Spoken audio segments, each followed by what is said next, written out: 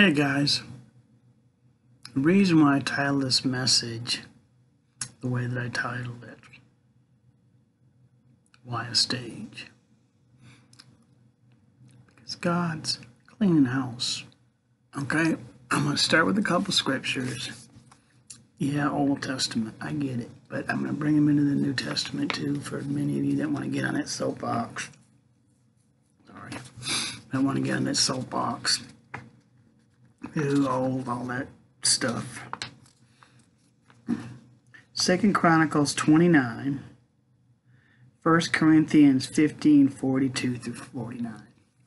Second Chronicles, I have to read the whole chapter, but it wouldn't hurt to, to do it. But Lord spoke to Hezekiah, told him that the, that the house of God was polluted. Clean house. Had to get the priests and purge it. But it was first natural, then spiritual. They got out all the trash and debris.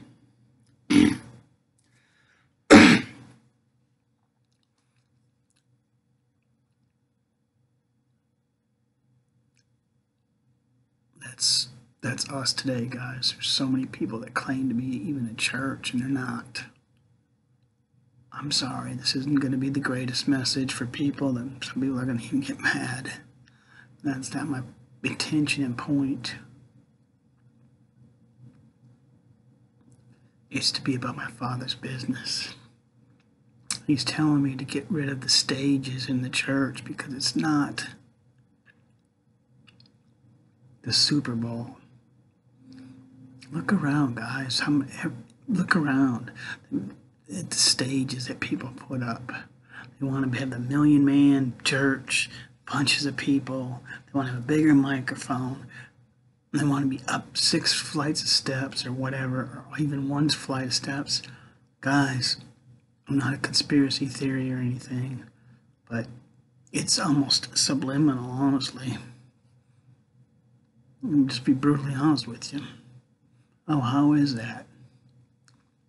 Well, because they think they're better than. True. Most people are barking nowadays from the church side. I'm, I'm connotating this toward the church side because God wants the house to clean up first, His people. The world isn't going to clean up. They're just not listening. Many of you all weren't but he's after his church, his true bride. Wants to get him to listen. Clean up time, guys. Clean up on aisle 13. Clean up the church. It's a platform. We don't need a platform. Oh, and I'm not saying don't gather together. I'm not saying that. Don't get on that bandwagon either. All that, oh, you're anti church, you're anti this, you're anti that. No, I'm anti things that aren't of God. Nothing to do with them. It's all about the man with the mic standing up on top of everybody, above everybody. like I said, I'm not a conspiracy theorist, guys. I'm not making this up just for the sensationalism of it, coming against against it, against something like the world is right now, and the church and everybody else is, you know, the more you're against it, the more newsworthy it is. The conspiracy theorists, that's why I said I'm not a part of it, we're still trying to figure out who shot JFK and whether we landed on the moon or not because the flag's blowing in the wind. Okay, there's plenty of them. That dog won't hunt. I'm not buying them all.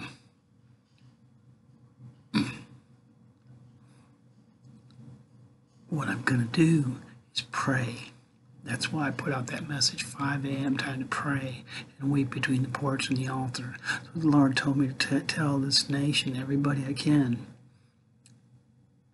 it's time, guys. We weep and pray.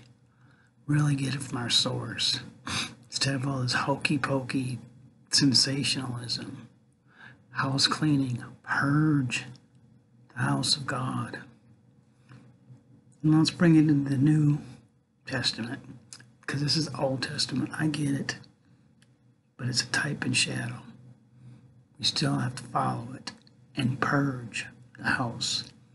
But in the New Testament, that house or the temple, you and me.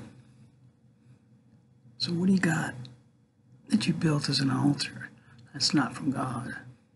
Is it your job, your wife, your car, your money, your status, your power?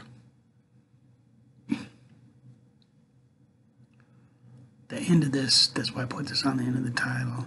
If I be lifted up, I'll draw men. We want to be the light. We want to be the light how we think we should be the light, not how God thinks we should be the light. Now, what nothing to do with Him, most of it. Waving a, your cape or whatever and showing how many people you can heal. Having a whole field full of people and saying how great, what a mighty move of God that is. Maybe, maybe not. Where'd you get it from, guys? Was it birth in prayer? Or was it just because everybody else is doing it? You want the sensationalism? You, man, think about it, guys. The reason why I'm picking on the stages is because it's all focused on that. And the bigger band, some of them have gotten to stages where it's might as well be a rock concert. Been to plenty of them. Lights, camera, action. There's nothing. It, some dude on a guitar for an hour and a half, and that's supposed to be a prayer worship time. Cut the baloney at best. Get over yourselves. Get on your knees and pray and ask God, is that really, you know, don't even have to listen to me. I'm not trying to irritate you. I'm telling you, it's time to get right with God. All of us, me included, okay? I'm recently doing, been doing, you know, I did about two years ago. The Lord told me to do something. It wasn't even what I wanted to do, honestly. It wasn't even on my mind, my radar. Something I did years ago, but I didn't do it correctly and rightfully in, res- in the sight of God. But still, what He wanted me to do, I just didn't do it the way He wanted it. And He told me, and I heard most of it, but I still had a little bit of that in there. And I didn't realize it. Now I do. So I've had to change course a little bit. Yes, I did what he told me to do, 90%. The 10%, a little leaven leaveth the whole lumps. You know, the, I didn't realize some of it was sin, honestly. It wasn't like intentional sin, but it became something it was never intended to be. so I'm regrouping, re bringing it to the Lord in prayer. Lord, what do I do to change my ways in this? House cleaning, guys. And He wants you to do a thorough job of it, not just, you know, superficial. Time to clean the house of God, guys. Get rid of this Shazam sensationalism that we become and claim it to be church. There's going to be no more hiding behind the gospel because it's just a sham. It's going to call it like it is, guys. I didn't want the job. Don't got that. Pick somebody else. Argued with him over it for almost for years. Though my wife finally, was like, man, I have not won one argument yet with God. Lost every one. He wins the battles. Stevie lost all these. So now it's like, okay, God. Don't know how. Sometimes don't even know why. But okay, God. Be obedient. Pray about it. Learn about it. Seek Him about it. Get direction from Him about it. To be birthed in prayer, guys.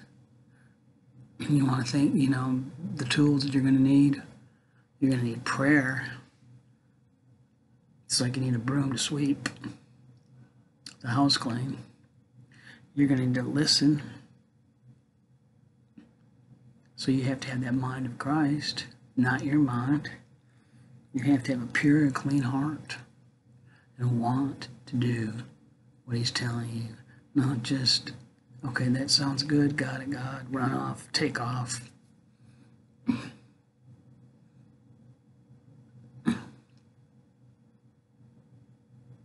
So many of us, you know, we think we just, a lot of it's around the music too right now, guys, honestly. It's got so twisted up. Might as well be the, like I said, the Super Bowl entertainment for the week. So crazy and unrealistic and, and, and ungodly. Why? Because it's demonic, honestly, a lot of it. You just get all worked up. I'm not knocking it. I've got some really good songs in my heart. The Lord carried me through with one of them. There's major battles I was in. Through it all, I've learned to trust in Jesus. I've learned to trust in God. A big one for me, guys. I'm not saying, you know, just I'm older, okay, of course, but music's a little differently, of course. I get all that, of course. I'm not knocking it. I'm saying that world has twisted it up and the church has took off with it. Why? Because they can gain power, money, status, bigger stage, so you look up to them. Think about it, guys. Most of Sundays, and a lot of people don't, you know, there's some churches that are real adamant about Saturday being the Sabbath, and, uh, and okay. But most of them, it's all about the stage and the one hour show, two hour show, maybe three, most of them 45 minutes, a lot of them. They want people in and out. It's all the digital garbage. And most of the barking about the politics is because people don't want to get cut off of the 501c because there's because of the really big churches it's millions of dollars because it's not just the millions of dollars it's, they don't have to pay in taxes it's the people that won't give because they don't have a tax receipt for it write off for it the big the big guys with a lot of money. Just get serious here guys it's not about the blood of the Lamb. It's not about the Holy Ghost. It's not about God, Jesus, the Holy Ghost, and His Word. It's about you and your show. Time to clean house, guys. I did. I got off track here a little bit. I didn't bring it back into the New Testament. Oh yeah, I kind of did. But yeah, Old Testament, I get it. Hezekiah. I, my my backyard not full of bulls and goats and not waiting to slaughter them and spread their blood all over my house and all over the land. That changed with Jesus, God's plan. It's His blood that was shed for us, His sacrifice. You got to be covered under the blood of the Lamb. You got to be connected to the vine. And the only way you're going to get it, start with prayer. Listen with a pure and clean heart and obey and do what he tells you to do. There's no more of this gamesmanship and all this other. Some of the people are pretty smart and they could probably run a very successful business. Well, just do that and give your portion to God instead of trying to claim to be a pastor. You know, so many people are claim to be prophets and this and that. Man, if, you read, the, if you really read the Bible, you don't even want the job. Guys, it's all about, really is. I've got some close friends, and it's like, man, now suddenly there's, you know, like, man, it gets twisted up real quick into you and not him. And we all can get there, guys. Put the shoe on the other foot. If any one of us all of a sudden became famous or something, or a book or something, you know, that's why most of us don't, because God wants us to enter in. It's going to deviate us from His plan in our lives if we got plenty of money to do everything, or plenty of stuff, or plenty of importance, or you know a bunch of people listening to us, sitting on the edge of their seat, listening to every word we say. Where are you the rest of the week? Past the Sunday service or the Sunday night, the showmanship. Where are you when you're at the retail store and somebody really needs prayer? Where are you when the guy's standing in the corner or gal homeless and you just drive by? Where are you? I'm going to end with this, guys, okay? Three years. ministering at a pretty big homeless shelter here in Dallas. Didn't ask for anything. One of the messages one time was I told the guys, I said, guys, I'm not here for the money. I said, if I call for an offering, I get two bucks and some pocket lint. They all laughed. I was there to preach the gospel, set them free, to get them Bibles, to teach them the goodness of Christ, the blood of the Lamb, the truth. Three years. One of those three years is maybe the second, maybe the third year. And well, actually, we were there four years, I think. Um, pulled up is January or December 22nd. And nobody had called me from there. So to say, hey, the church service got canceled. I pulled in, not a real big parking lot, big place, but not a super big. Man, it was full. There's 300 people in there, all wearing Jesus shirts. All had stockings with candy canes hanging out, all kinds of gifts and stuff, things for the homeless. Next week, none of them. Weeks before, none of them. Nobody showed up. Well, where are you guys? The rest of the year, the rest of the time, where are you?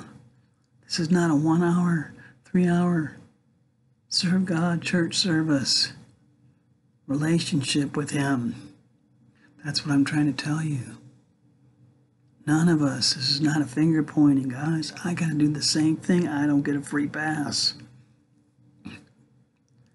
Been saved for 40 years. I still don't get a free pass. It had nothing to do with it. It was just a timing thing. And when He saved me, that's how long it took me to get here. 1980.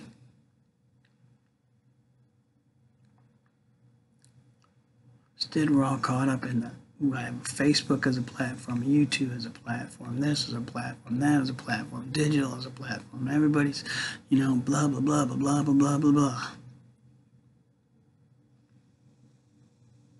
Clean house, purge, It's become unholy, unclean, unattainable.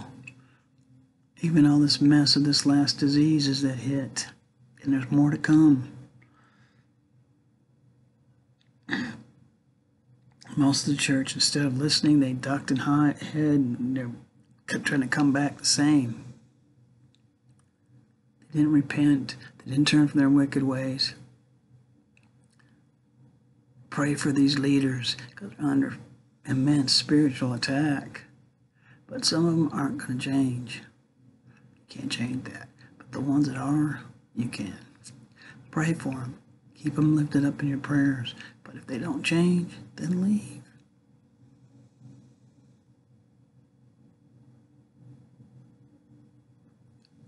Well, I said this message is not going to go good with everybody because you could be, you know, one pastor said it, he said the banana that leaves the stalk gets peeled first or something to that effect. So, yeah, you know, there is strength in numbers, there is strength in true relationship with Him, with others. There is the accountability issue. There's all those above things. But there's a responsibility in all of us.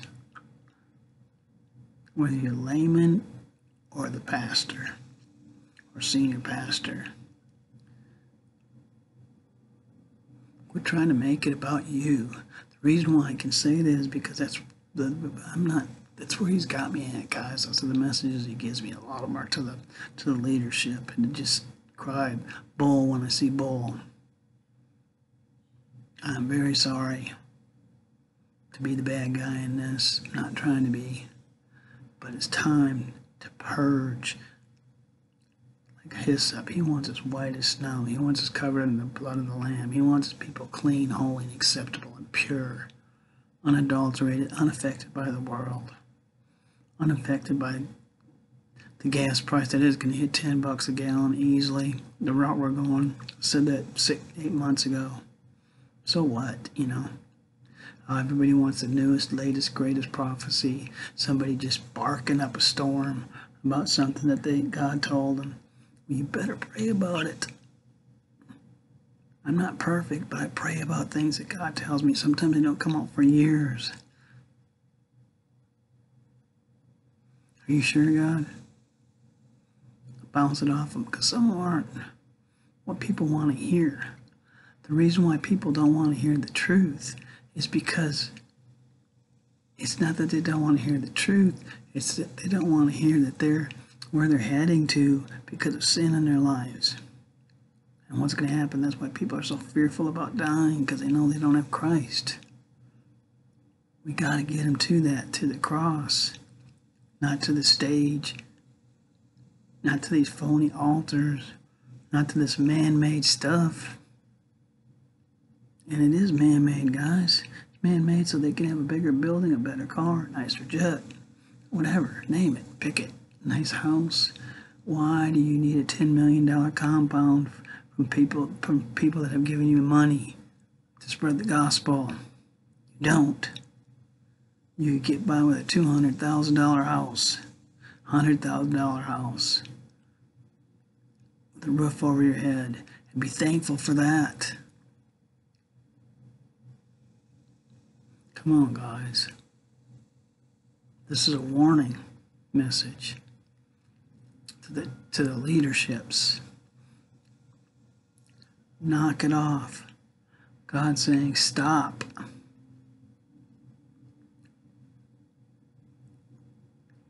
Get rid of the stage. Get rid of the pollution that's in your house. Because it leads, it, it ushers in, it lets demonic forces come in because you open the door very wide. And they don't just, they don't even have to ask anymore. They just walk in. This is political, sort of, yes.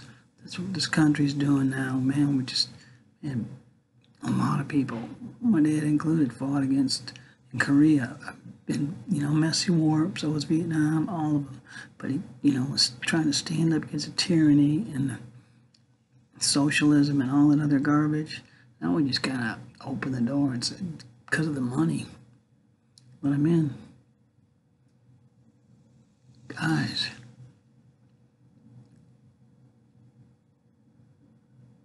Are we gonna, but are we gonna let that influence us? It shouldn't. We should influence them, not them influence us. But we can't. Because it'll expose our pollution. So we have to hide behind it. And act like we're this big powerhouse. Pretty weak and lame and kind of even spineless almost. Sorry. Oh yeah, everybody's got a T-shirt, everybody's got a saying, everybody's got a bumper sticker, everybody's got a flag they stand behind, everybody's got microphone they stand behind, and they blast, proclaim, yell at you. Man, what are you really doing? What God's given you. Love you guys. Um, but it's house cleaning. And it starts here. So guess what? It starts with me on this one. This message is not just for everybody. This message is for me too, just as much. I got a house to clean too. My own house that God dwells in. Jesus, the Holy Ghost, and His Word. So get a grip, guys. Get over yourselves, guys. Humble yourselves, guys. That's why it says that if my people are called by my name will humble themselves and pray and turn from their wicked ways, then will I hear the land. You got to do that stuff first. You can't go, go around it. You can't have some music club that this is the, this is the new way to get into God. I said I've, I've watched plenty of. Some of them I don't even watch them anymore. But you pick pick through the you know fast forward it hour and a half of just some dude on a guitar or a keyboard. Oh, what a mighty move of God. Man. Sad. Really, really, really sad. Because your source is not God. Jesus, the Holy Ghost, and His Word. And you're going to get a birth in prayer and listening to God and a pure heart the listening part is really listening, not just what you want to hear, not just somebody that agrees with you. Look at, um, not necessarily just divorce people, but argument, people that have arguments, whether it's in court or not. You know, there's generally two sides, but, you know, they they want to go to find somebody. The lawyers, of course, they'll do it because there's a lot of money in it, or some of them. But they're just trying to find somebody to listen to them, to agree with them. I'm not trying to get anybody to agree with me. I'm getting trying to get you closer to God, Jesus, the Holy Ghost, and His Word.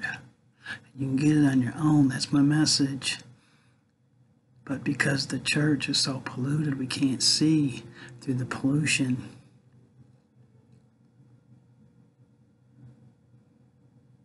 The river's dirty, guys. It's not a river of God. It's a it's a filthy river running through there. A pollution, sin, everything goes. Inclusion, whatever. Politics, just downright stupidity. Common sense goes out the window.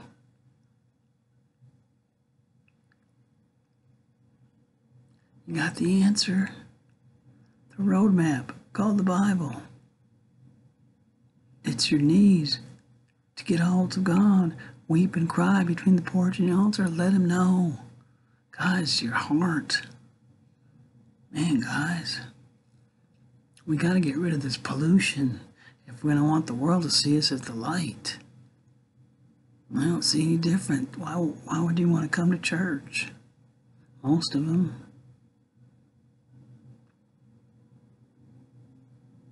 I know that's not popular. Ah, I get it. Do I look like I'm running for president? No. Stupid phone. Another interruption from the world. An Amber Alert. The weather alert. Another distraction. That's a whole other message, guys. But that's what the world is doing. It's blasting and bleeping and paging and blowing us up with this technology. More pollution we can't see because of the pollution, guys, in the church. And if you're in the church, you can't see because of the pollutedness of the stage and the altar, and the success is based upon numbers. How much money you're bringing in, how big your building is, how many people you saved and set free, how big your your, your audience is. And the stages are a magnet, and they draw everybody. And who are they looking at? Certainly not Jesus. Certainly not God, certainly not the Holy Ghost, certainly not His Word. looking at some dude or, or woman in a pulpit. That could be a whole other message and argument for some of y'all. Fine, have at it. You better get your focus on Him and His plan. God's plan was Jesus. No more pollution. Don't even call your house itself a house of God with all this pollution because it's not the house of God. It's just another polluted, surreal. You know, I'll end with this, okay? The prophet business. Me and David Koresh called himself a prophet. And look what kind of mess he was involved in. He was a pedophile and a, just a man, he, just, he didn't care. People died, and plenty of them did. And for what? kind of prophet was he? He wasn't. He was a liar and a thief. And people lost their lives over it. Granted, not a lot, 168 or how many ever, plus all the, you know, all the stuff that it took, you know, from the FBI and all the resources and everything. Man, it was a mess. Get off of the stage, guys, and into the real world. And set the captives free. Love you guys. Miss you. Um, love you. Thanks for listening.